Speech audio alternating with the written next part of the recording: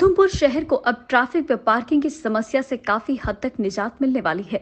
शहर में पार्किंग की समस्या खत्म होने वाली है, जिससे ट्रैफ़िक जाम की समस्या भी काफ़ी हद तक खत्म हो जाएगी। उधमपुर नगर पालिका की ओर से 25 करोड़ रुपए की लागत से दो बहुमंजिला पार्किंग स्थल व शॉपिंग कॉम्प्लेक्स का निर्माण किया जा रहा है और ये निर्माण कार्य इन दिनों शोरों शोरों से जारी है। एक बहुमंजिला पार्किंग व शॉपिंग कॉम्प्लेक्स नगर पालिका के पुराने कार्यालय टाउन हॉल में निर्माण अधीन है। टाउन हॉल में करीब छह दशमलव पाँच कनाल ज़मीन पर बहुमंजिला इमारत बनाई जा रही है, जिसकी बेसमेंट में पार्किंग होगी। ग्राउंड फ्लोर व फ़र्स्ट फ्लोर पर शॉपिंग कॉम्प्लेक्स होगा और दूसरे फ्लोर पर नगर पालिका का कार्यालय होगा। इस इमारत में रैंप व लिफ्ट की सुविधा होगी और फायर फाइटिंग सिस्टम के साथ रेन वाटर हार्वेस्टिंग की फैसिलिटी भी होगी। वहीं दूसरी पार्किंग पुरानी थोक सब्ज़ी मंडी के निकट बनाई जा रही है और ये भी चार मंजिला इमारत होगी।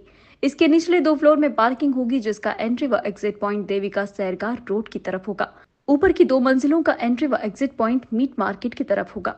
प्रशासन को उम्मीद है कि इन दो कॉम्प्लेक्स के बनने से उधमपुर में पार्किंग की समस्या काफ़ी हद तक हल हो जाएगी और इससे स्थानीय कारोबार को भी बढ़ावा मिलेगा। पार्किंग के लिए यहाँ पे एक मल्टी लेवल पार्किंग बनाया जा रहा है, जिसमें जो लगभग साढ़े बारह करोड़ की लागत से बन रहा है और वहाँ पे लगभग 120 गाड़ियों की पार्किंग की सुविधा रहेगी और जो शहर में इतना कंजेशन का प्रॉब्लम है, उससे काफ़ी हद तक हम उसको कंट्रोल कर पाएँगे और जो म्यूनसिपैलिटी की भी टाउन हॉल की बिल्डिंग बन रही है, उसमें भी पार्किंग की फैसिलिटी है और उसमें शॉप्स की भी फैसिलिटी है तो जो स्ट्रीट वेंडर्स अभी बाहर बैठते हैं, उनको भी अंदर रीलोकेट करने का प्लान है, ताकि जो कंजेशन हमारा रोड साइड कंजेशन आज की डेट में देखा जा रहा है, वो आने वाले वक्त में उसको हम कंट्रोल कर पाएँ। दोनों प्रोजेक्ट्स मिला के लगभग 25 करोड़ के हमारे दोनों प्रोजेक्ट्स हैं, और वो अर्बन डेवलपमेंट डिपार्टमेंट की तरफ़ से हमको स्पेशल केपेक्स फंडिंग आई है उसके लिए। मेरा नाम सुरेंद्र कुमार खजूरिया है। ये पहले म्यूनसिपलिटी का ऑफ़िस था ये पहले, अभी पार्किंग बन रही है। पार्किंग बहुत समस्या थी उधमपुर में। हम सब्ज़ी का काम करते हैं इधर कोई भी बाइक वाला आता था, गाड़ी वाला आता था, इधर लगा देता था, हमारे आगे गाड़ी। अभी पार्किंग बनना शुरू हो गई है। ऊपर ऑफ़िस बनेगा इसका म्यूनसिपलिटी का। पार्किंग बहुत समस्या थी। क्योंकि बीस साल इधर काम करते हुए।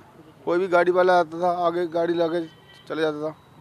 तो किसी को बोलना होता तो बोल आपकी जगह थोड़ी सी जगह हाँ जी अच्छा है। बहुत अच्छा हो रहा है। काम भी अच्छा हो रहा है इधर। काम भी अच्छा हो रहा है। मैं इधर सब्ज़ी का काम करता हूँ टाउन हॉल में। पहले इधर हम काम करते हैं अट्ठाईस साल हो गए हमें काम करते इधर।